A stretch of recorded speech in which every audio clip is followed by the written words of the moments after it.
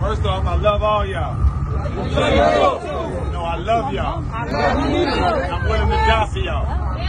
From my mouth to your ears, I'm willing to die for y'all. So we can get treated like human beings and not like animals.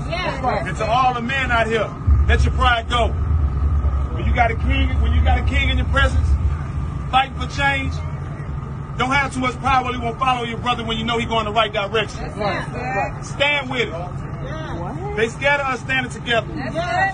As today, while we here marching and standing for each other, trying to help each other, I looked on the news yesterday on CNN. It's, it's 2020 right now, and they talking about having the kids go back to school, but having the white kids go first, Yeah.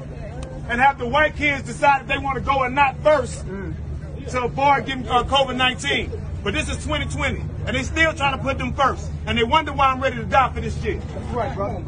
Right. They wonder why I'm out here fighting and putting everything I have on the line for my people and for equality. Speak! They wonder why. But the world lost common sense. Yeah. This shit ain't rocket science. Yeah. Treat people how you want to be treated. Yeah. But this come from a long line of history of hate, y'all.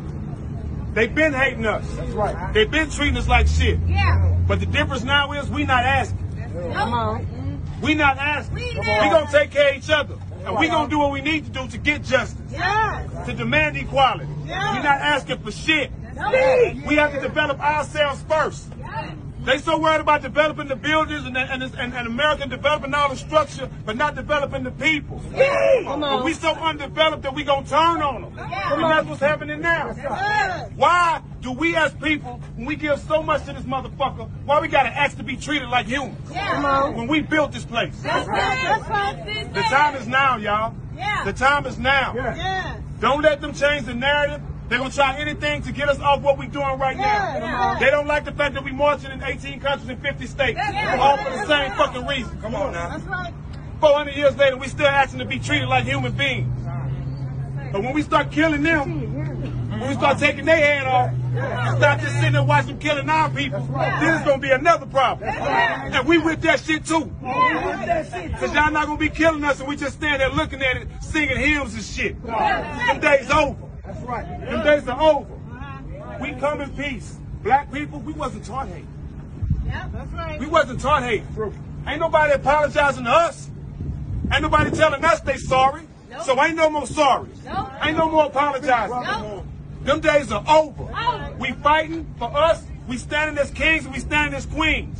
And if you don't know you a king or a queen, I'm telling you now. Come on you are.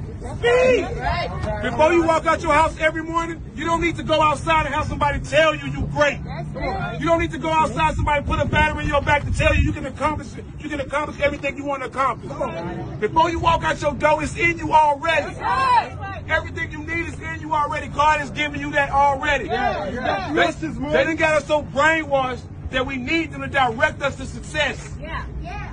We the ones making sure they stay rich. That's We the right. ones entertaining them. right. So we got to supporting each other and standing for each other now. That's right. Now is the time, y'all.